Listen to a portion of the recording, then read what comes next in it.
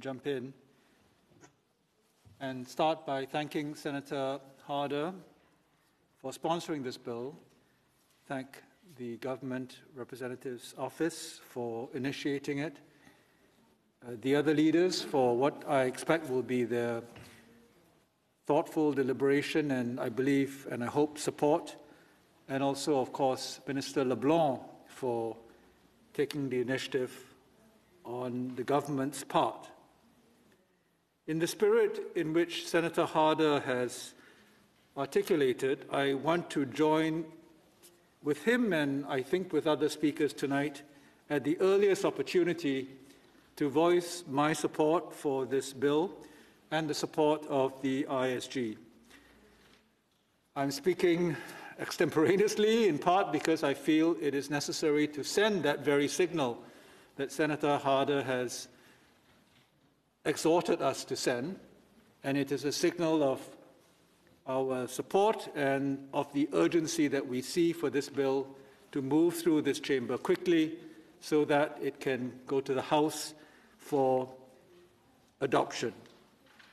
I want to pick up on Senator Harder's comment that this bill represents evolution, not revolution.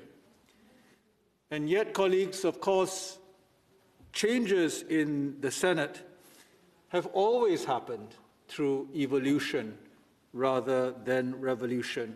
And that is something that we should be proud of.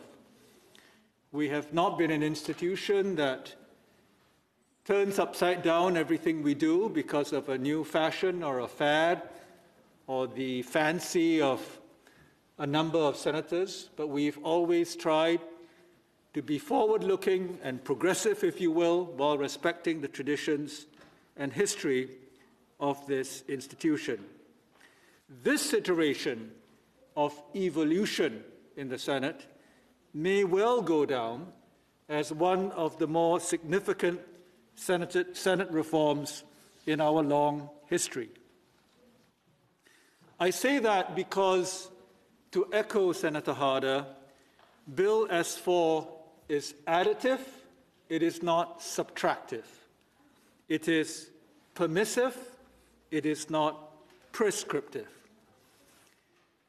It enshrines what we already know to be the reality of the Senate insofar as there are groups that are non affiliated other than the government and the opposition. In many ways, Bill S4 simply catches up with the new reality of the Senate. And to the extent that it isn't simply echoing what already happens in this institution, it is permitting what should be happening in this chamber, but which can only be made possible through statute. And I make this point because there are other things which the Senate can do by itself through amending its own rules. But the very items that we see in this bill today are only the things that government can do through the Parliament of Canada Act and has now presented to us in the form of S4. When I say that this bill is additive and not subtractive, that it is permissive but not prescriptive, what I mean to say is that it is respectful both of the current reality of the Senate, but also respectful of Senate traditions and practices. Insofar as some of you have a particular view of what Senate, further Senate reform might mean, this bill is agnostic. It allows for different directions and permutations for which the Senate can further evolve. It doesn't lock us into a particular path, but it recognizes the present reality and it institutes a measure of equality and fairness given the recognition and given the reality of multiple groups in this chamber.